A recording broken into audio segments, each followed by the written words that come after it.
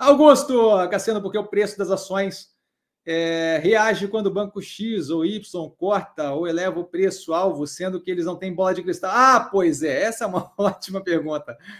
Essa, essa é uma ótima pergunta. E é engraçado, porque é isso que acontece, acontece direto isso daí. E assim, o que eu posso te dizer é isso, assim, ó, isso daí é uma das provas cabais de que a operação é uma coisa e o preço do ativo é outra, certo? Quando você tem indicação, recomendação, é, você vê o efeito no mercado, seja positivo, seja negativo. Por quê? Porque aquilo dali afeta o psicológico de uma cacetada gente. Seja, inclusive, institucional, certo?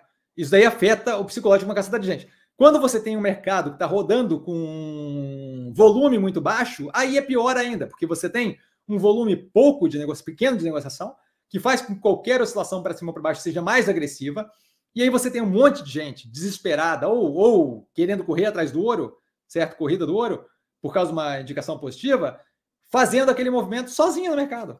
E aí você tem oscilação de preço agressiva. Basicamente é isso. Aquilo ali é a prova cabal de que é o psicológico de quem está operando que manda no preço no curto prazo.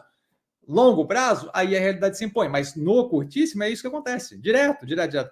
Falam alguma coisa. Bom, vocês lembram da Ocean Pact? Vinha o preço derretendo e o, as casas de análise e bancos vinham falando: ah, não, reduzimos o cortamos o preço-alvo, cortamos o preço-alvo, cortamos o preço-alvo e pimba, tomaram na cabeça. Mas veio uma galera junto com aquilo. Por quê? Porque é psicológico. Se você acredita numa coisa, você acaba afetando o mundo real. Bom, a gente nunca conseguiu controlar é, chuva, é, nível de chuva, clima do dia seguinte, com base em sacrifício humano. Mas a gente tentou bastante, muito, muito, muitas, muitas civilizações, muitas vezes tentaram por um bom tempo. O que rolava de cabeça para chover no dia seguinte era sem noção. Fazia sentido? Não fazia, mas assim, a crença do negócio leva a efeitos no, no mundo real, certo?